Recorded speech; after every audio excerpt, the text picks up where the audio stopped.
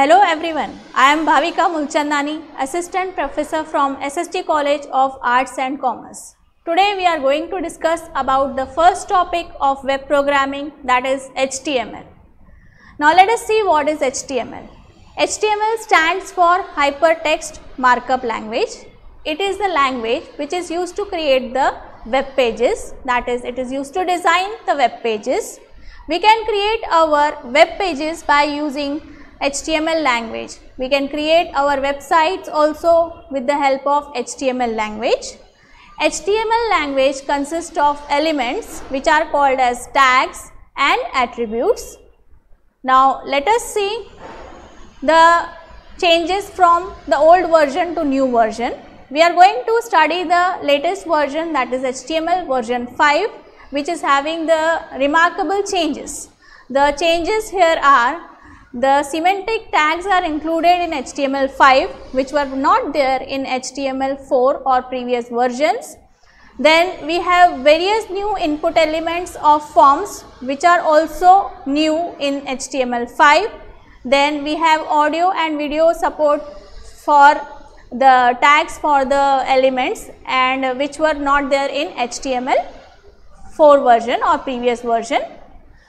Now for using the HTML, we have to use the text editor. We can use any text editor like Notepad or WordPad. So we are using Notepad in our tutorial.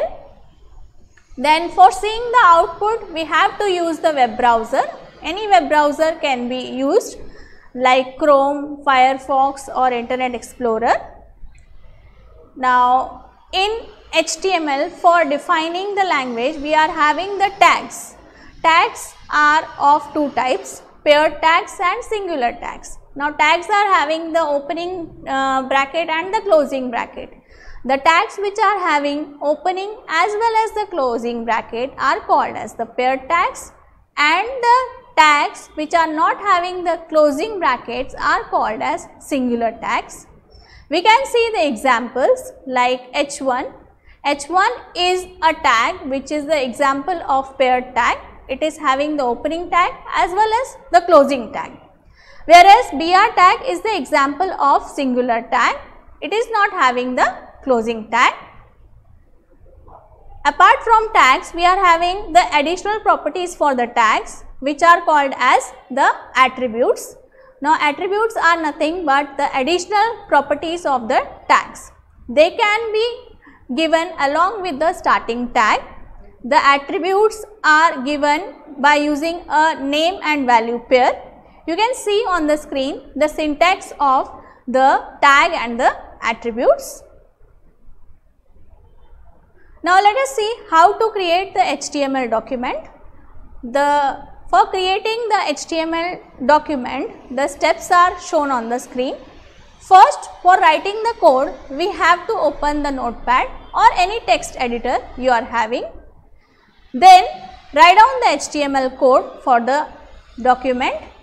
Save the file by using .html or .htm extension.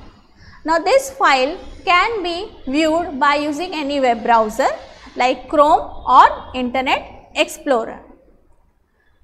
Now, this is the basic structure of any HTML document. The first line of the structure is doc type HTML. This line indicates that we are using the HTML version 5.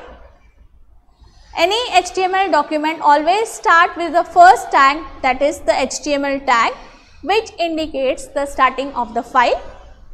Our next part is divided into two that is head section and body section. The head section will be displayed in the title bar of the browser. Head section can include style tag, title tag, script tag, meta tag and the body section consists of the data which will be shown on the output screen of the browser.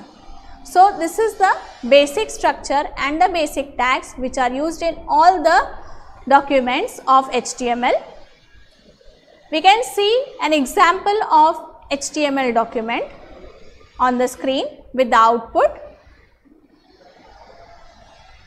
So, we will start with the first uh, tag of HTML that is the comments. Comments are nothing but the uh, text which are not displayed in the browser. We can use comments for reminders and notifications.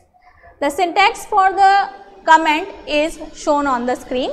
It consists of exclamatory mark and dash dash. We can see the example on the screen with the output. The next important tag is the heading tag. Heading tags are the predefined headings in HTML. There are total 6 heading tags H1, H2, H3, H4, H5 and H6. H1 is the highest heading tag that is the ta heading tag with the largest size and H6 is the heading tag with the smallest size. Now we will see some of the formatting tags of HTML. We are having various formatting tags which are used to uh, design our web page. Some of them we will see. The first tag is the bold tag. If we want to change our text into bold, then we have to use the B tag. It is having the syntax B and slash B. The same is the strong tag. It is similar to B tag if we want the text output in bold, we can use the strong tag. Again, the syntax is strong and slash strong. Then for changing the text into italics, we are having the I tag or the EM tag. EM tag and I tag are having the syntaxes as I and slash I, EM and slash EM. For underlining the text, we are having the U tag U tag is again having the syntax of U and slash U. If we want a line through the text, then we are having the strike tag. Again, the syntax for the strike tag is strike and slash strike. For superscript and subscript, we are having SUP and SUB tag. The syntax for the same is shown on the screen SUP and slash SUP. For subscript, SUB and slash SUB. Then we are having the big tag and the small tag. They are used to uh, change the font size smaller and larger accordingly. For big tag we are having the syntax big and slash big. For small tag we are having the attribute uh, tag as small and slash small. Now if we want to highlight any text we are having the mark tag the syntax is mark and slash mark. So, this was all about the formatting tags of HTML. Thank you.